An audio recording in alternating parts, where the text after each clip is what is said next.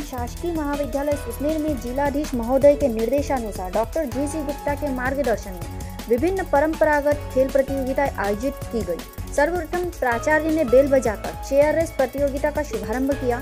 उसके पश्चात रस्सी कूद एवं खो खो प्रतियोगिता आयोजित हुई चेयर रेस में बालिका वर्ग में नेहा दामड़िया बीएससी प्रथम वर्ष विजेता रही एवं बालक वर्ग में नारायण बीए द्वितीय वर्ष ने प्रथम स्थान प्राप्त किया। रस्सी कूद में शानदार प्रदर्शन करते हुए वर्षा प्रजापत बीएससी प्रथम वर्ष ने प्रथम स्थान प्राप्त किया। अंत में खो खो प्रतियोगिता संपन्न हुई, जिसमें दुर्गा मेघवाल की टीम विजेता तथा रीना मेघवाल की टीम उप विजेता रही। इस अवसर पर महाविद्यालय का समस्त स्टाफ एवं बड़ी संख्या में विद्यार्थी उपस्थित रहे। उक्त जानकारी प्रतियोगिता संयोजक सहायक प्राध्यापक आरती नागर ने दी। आगर मालवा से मांगीलाल सोनी की रिपोर्ट खबर इंडिया 24 न्यूज़ के लिए।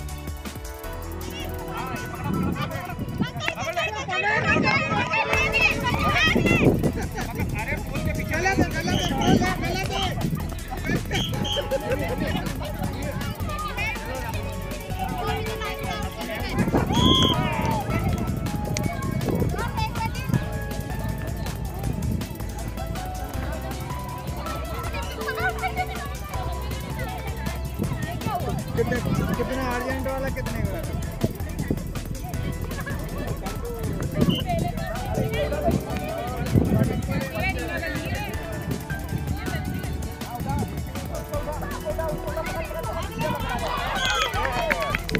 जब बात चल चल चल नेक्स्ट